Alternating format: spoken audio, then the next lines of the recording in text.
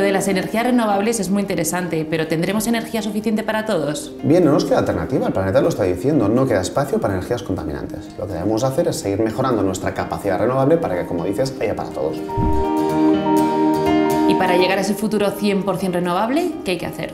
Bien, lo que debemos hacer es eh, seguir invirtiendo en su desarrollo. Nosotros, en nuestro caso, nos hemos marcado como objetivo para 2040 ser una empresa de emisiones cero. Esto significa que toda la electricidad que generemos ese año va a ser renovable. Pero para el 2040 todavía queda mucho. Bien, es un camino que debemos seguir avanzando. Por primera vez hemos generado un teravatio hora de producción solar. Esto significa que con nuestras 17 plantas solares hemos generado lo que consume una ciudad de 250.000 habitantes en todo un año. Y además ya somos la primera eléctrica integrada con menos emisiones y debemos ir caminando hacia este objetivo de emisiones cero para 2040. Esperemos que así baje el precio de la luz. Esta es la clave.